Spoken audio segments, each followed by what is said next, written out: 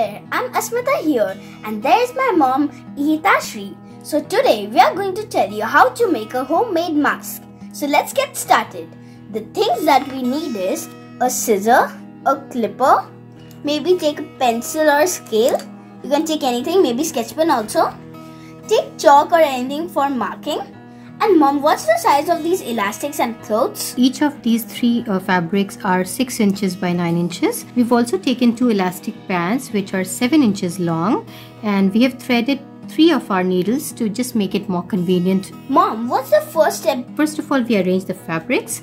Uh, the top fabric is uh, positioned in a way that the, uh, the reverse side of the fabric comes on the top and the front side goes at the back. And the other, the second fabric is positioned in a way that the front side is on the top and the reverse side is on the back. And then we have the buckram fabric and all the three we have placed in this order and then we position our elastics here so that the upper end of the elastic is just half inches below the top and the lower end is half inches above the bottom.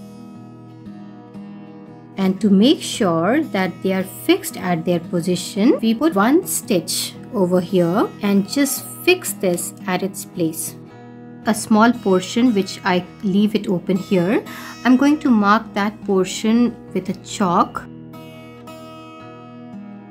that's fine if you don't have chalk, you can mark with anything. I've started from the mark portion. As you can see, my mom has uh, stitched all the four sides. Yeah, and as you see, we had put the borders here with the chalk and we have left that portion open and this is for the reason that we want to pull the mask inside out now you can see that the elastics are quite fixed. Corners aren't so erect. So we're going to use the pencil or a scale to push the corners.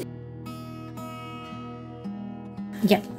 Now this is kind of ready once uh, we do the next stage. Also this side is open which we need to fold it with our fingers. As you can see my mom has stitched from this side. This part is now locked. So you know what? The world is fighting against corona. This is a battle. Because of the shortage of masks, many people are affected with this virus. Please, please make this these masks to protect your country. Here we have made three folds here. Please distribute these masks to the frontline workers, doctors. And this makes it a complete surgical mask. It gives multiple layer of protection as well as the, the inside thing which already protects. This part of the mask is can be elongated to cover your mouth and nose. Actually try this mask at home for your family, for your friends, for your neighbors, for all those elderly citizens living close by, for all those frontline workers who are who desperately need these masks to heal the patients and to protect themselves.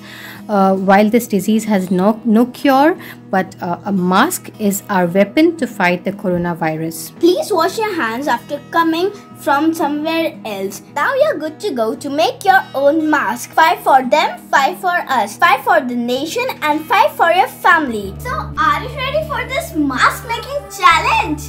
Let's get started.